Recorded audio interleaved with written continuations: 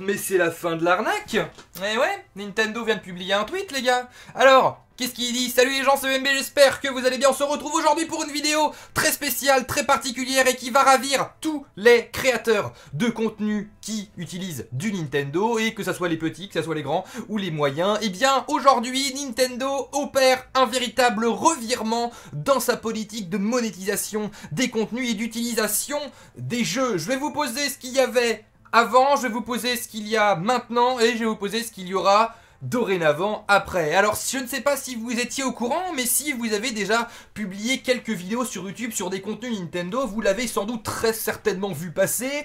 Des contenus qui sont bloqués directement par Nintendo, aux contenus de droits d'auteur qui sont complètement rayés de la liste et supprimés, aux contenus qui sont complètement démonétisés, qui sont remonétisés par Nintendo derrière. J'en avais d'ailleurs déjà parlé dans une première des vidéos que j'avais fait sur YouTube quand je m'étais lancé euh, il y a un an et demi, où bah, j'étais un petit peu, un petit peu choqué de, ce programme, où on était obligé de... Bah, en fait, toutes nos vidéos euh, faites dans la sphère européenne, en dehors des, États-Unis, étaient hum, données l'argent à Nintendo directement. Hein, voilà, donc au fur et à mesure, j'ai commencé à prendre contact avec Nintendo et les vidéos étaient remonétisées quelques jours après. Et euh, du coup, eh bien, eh bien, ça permettait de toucher une petite rémunération sur ces vidéos. Je vous le rappelle, aux États-Unis, depuis déjà quelques années, je crois que ça fait facilement 2-3 ans, il y avait le Nintendo Creators Programme qui n'était pas disponible en France et qui permettait à tous les youtubeurs en fait qui souhaitaient euh, publier des contenus Nintendo de le rejoindre et en échange de 60%, 60%, hein, on est quasiment aux deux tiers de la rémunération. 60% étaient donnés à YouTube et les 40%, euh, les 60% à Nintendo et les 40% revenaient directement aux youtubeurs, ou c'était l'inverse, en bref, 40 ou 60, de toute façon c'est énorme, c'est juste absolument énorme. Et du coup, eh bien tous les créateurs qui euh, travaillaient du coup dans ce Nintendo Creators Programme, qui était considéré un petit peu comme un, vous savez, euh, vous savez les, plateformes que l'on rejoint pour, eh bien, ben, pour faire monétiser nos vidéos, hein, qui nous protègent en cas d'atteinte aux droits d'auteur, et eh bien du coup toutes leurs vidéos, même en dehors des vidéos Nintendo, étaient taxées par ce Nintendo Creators Programme. Mais aujourd'hui, Nintendo a publié ce tweet qui va changer littéralement les choses et qui va permettre, eh bien,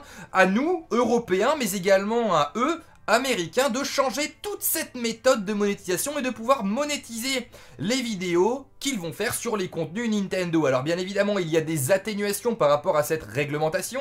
On va en parler aujourd'hui, je vais tout vous exposer. Et c'est ce qui va permettre, eh bien si jamais tu as un de tes potes qui veut se lancer sur YouTube, ou même toi qui te lance sur YouTube, ou même toi qui es un gros YouTuber Nintendo, peut-être que tu n'as même pas entendu euh, parler de, cette nouvelle réglementation, eh bien tu pourras donner le lien de cette vidéo si tu le souhaites. Bien évidemment, tu n'es pas obligé, mais ça serait méga cool du partage. Voilà, soit dit en passant, pouce bleu, partage, tout ça, tout ça. Bref. Alors, qu'est-ce que c'est que cette nouvelle réglementation de publication du contenu Donc déjà, Nintendo souhaite véritablement permettre aux fans des licences Nintendo de partager au maximum leur contenu. Je pense que Nintendo euh, opère ce revirement pour une dualité de choses. Déjà, l'arrivée de Super Smash Bros Ultimate d'ici euh, d'ici une semaine, un petit peu plus d'une semaine, qui va littéralement envahir la plateforme comme ça a été le cas pour le fameux Pokémon Let's Go qui a envahi la plateforme de partout, que ce soit les lives, les vidéos, etc. etc.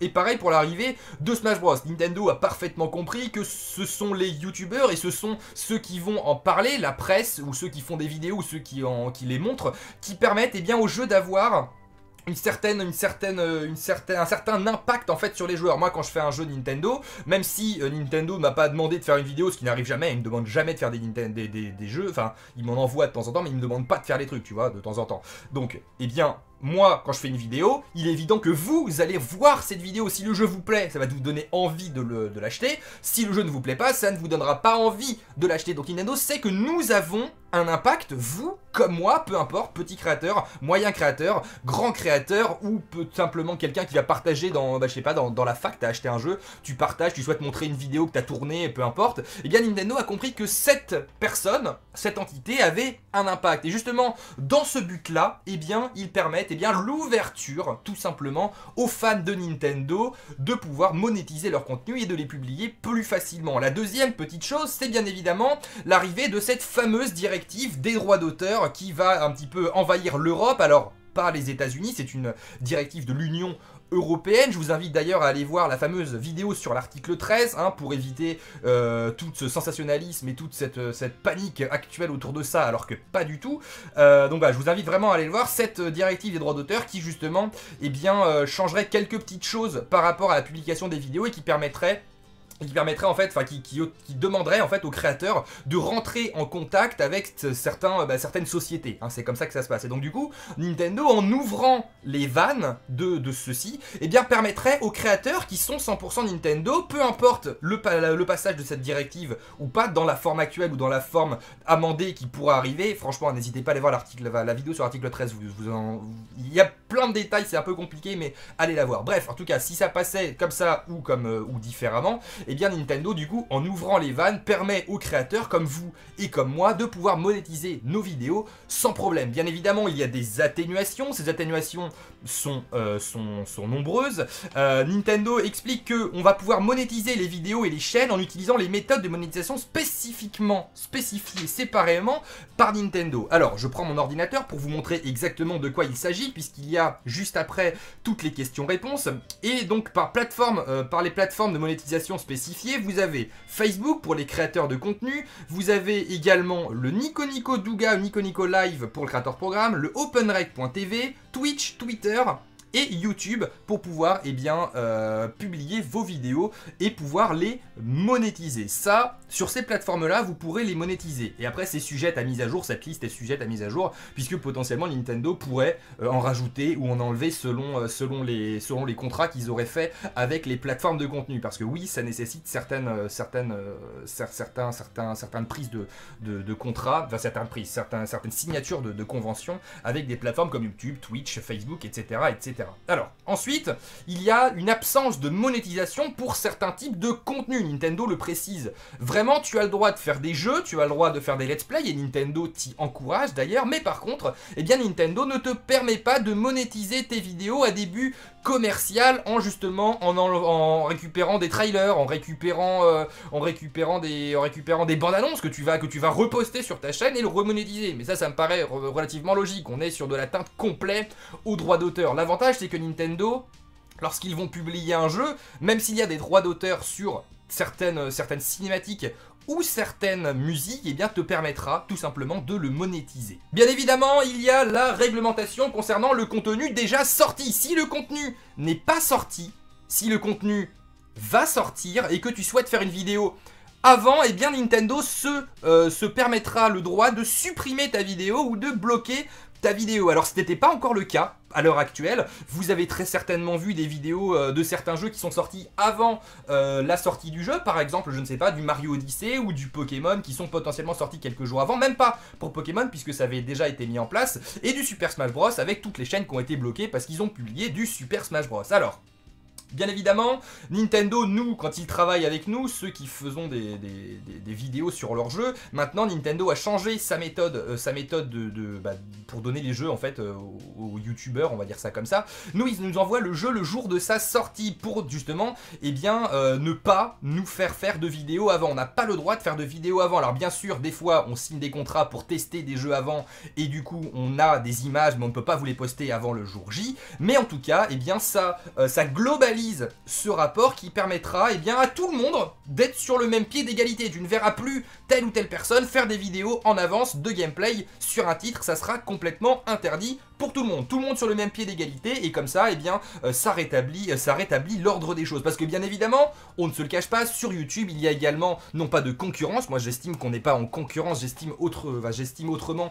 qu'on est tous, euh, on a tous envie de partager notre passion, mais bien évidemment, quand quelqu'un poste un contenu trois semaines avant tout le monde, bien évidemment que tu vas aller voir cette vidéo. Et bien là, Nintendo a décidé de remettre ce pied d'égalité tout le monde. Et dernier petit détail par rapport à cela, Nintendo précise que vous n'êtes pas autorisé à impliquer ou mentionner que vos vidéos sont officiellement affiliées ou sponsorisées par Nintendo. Eh bien maintenant, si tu le mentionnes, eh bien nous nous réservons le droit de retirer tout contenu jugé illicite, contrevenant, inapproprié ou non conforme à cette réglementation. Donc si un contenu est affilié par Nintendo, s'ils envoient un jeu, si euh, euh, ils, sponsorisent une vidéo, eh bien il ne faudra pas le dire. Alors, bah écoute, on sera bien évidemment obligé de pas le dire, mais bah en général, euh, les jeux Nintendo, bah non, remarque, non, ils sont pas tous envoyés, remarque, donc non, ça serait une bêtise de dire qu'ils sont tous envoyés. Par exemple, Pokémon, encore une fois, moi je l'ai acheté moi-même, comme la Switch, euh, Pokémon que j'ai acheté moi-même, et etc., etc. Bref, en tout cas, voilà une nouvelle grosse réglementation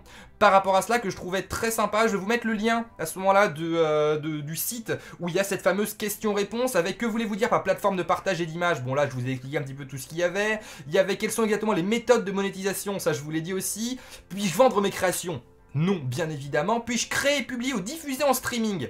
Oui, absolument. Sauf Bien sûr, si c'est du contenu qui ne t'appartient pas comme des bandes annonces ou des trucs comme ça. Bref, j'espère que cette vidéo vous a été utile. Je trouve que ce revirement par Nintendo est une excellente chose pour justement monétiser les vidéos. Ça sera mis en place à partir de début 2019, là d'ici un mois pour justement laisser à Nintendo euh, le temps très certainement de signer toutes les conventions avec, euh, avec tout le monde et permettre eh bien, aux robots de YouTube de ne plus euh, ben, de, plus euh, striker entre guillemets les vidéos ou en tout cas de ne plus les démonétiser. Bien évidemment, bah, ça nous permettra nous de, faire euh, plus de vidéos aussi parce que il y a certaines vidéos que moi je ne postais pas parce que de temps en temps c'était un peu short. Par exemple du Mario Kart, du Mario Kart j'en ai fait quelques-unes sans en faire énormément, même si on fait beaucoup de live Nintendo. Mais par exemple les, rediffusions des live Nintendo c'était une tanasse parce que vous publiez une vidéo de 3 heures de Mario Kart avec les musiques, avec les petites cinématiques les machins et trucs, je recevais une cinquantaine ou une soixantaine de mails d'atteinte aux droits d'auteur et c'était absolument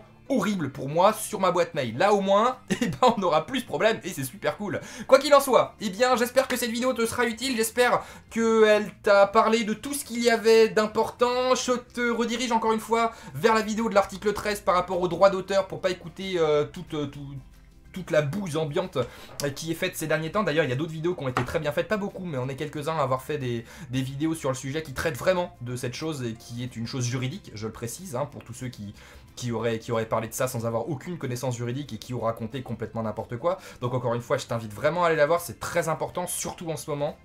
Et euh, bah écoutez, euh, le gros pouce en l'air, l'abonnement à la chaîne si ce n'est pas encore le cas. Il y a également les réseaux sociaux qui sont dans ce coin de l'écran. Et moi je te dis à très vite sur la chaîne ou pas, sera toujours encore à toi derrière ton écran de décider. Salut salut